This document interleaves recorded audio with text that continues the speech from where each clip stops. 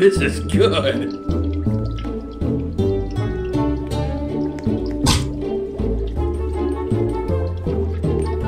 Oh, yeah, this is good.